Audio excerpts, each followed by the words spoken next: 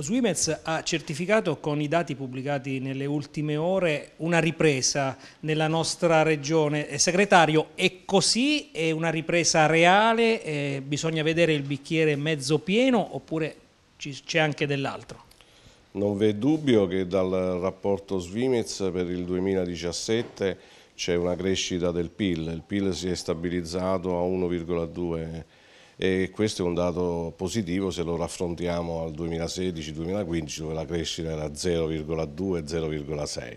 Quindi il dato eh, è ovviamente positivo. Ci sono mh, dei, delle letture da fare con estrema attenzione, per esempio noi abbiamo un'agricoltura che ha un trend percentuale di crescita positivo, sopra il 9% rispetto al 2015-2016, l'industria, soprattutto la grande industria, ha retto e ha retto bene, abbiamo per esempio però il problema della piccola e media impresa, dell'impresa artigianale che continua a soffrire molto, i servizi sostanzialmente hanno tenuto, il problema è molto, molto serio, è quello legato al settore dell'edilizia che ha avuto un tracollo del 14,5%. In una regione dove insistono anche due eh, crateri derivanti da purtroppo due terremoti che abbiamo avuto negli ultimi anni, questo è dove quindi l'edilizia è il settore che dovrebbe riprendere fortemente, questo è un segnale molto negativo che ci preoccupa.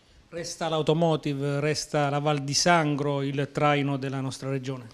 Assolutamente sì, è evidente che la presenza di FCA in Abruzzo, in particolar modo con l'insediamento Sevel, è, un insediamento che traina e dà un riconoscimento economico a questa regione eh, molto importante. Ehm, è evidente che la continua espansione anche in termini commerciali del, del, del Ducato e la sua produzione che ormai si è assestata a 300.000 furgoni l'anno, trascinano molto quello che è il dato della, in più che abbiamo sul sistema industriale.